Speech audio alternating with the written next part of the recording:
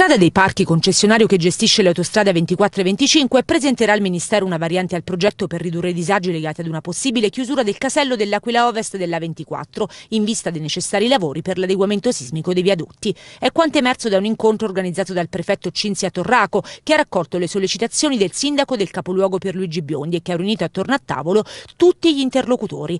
La messa in sicurezza antisismica della A24 nel tratto torna in parte l'Aquila Ovest spiega oggi Strada dei Parchi a Rete 8 coinvolgendo coinvolgerà un numero crescente di viadotti nella prossima primavera. Tra questi la rampa della stazione L'Aquila Ovest che permette al traffico proveniente da Roma di uscire dalla 24 verso la zona industriale del capoluogo. Una rampa che verrà demolita e ricostruita nel tratto che supera Via dei Medici. Al fine di abbattere i disagi in questa stazione dai flussi di traffico molto importanti, Strada dei Parchi presenta un progetto che prevede la costruzione di una rampa provvisoria. La rampa garantirà la continuità del flusso di traffico in uscita proveniente da Roma e mediante uno stop gestito da Movieri riuscirà ad assicurare anche il flusso del dello svincolo da e per tutte le direzioni, per tutta la durata dei lavori, senza interruzioni. Il senso unico alternato sulla rampa dello svincolo non dovrebbe creare disagi, perché i picchi di traffico in uscita hanno orari diversi da quelli in entrata. Questa proposta è stata accolta da tutti gli interlocutori con favore.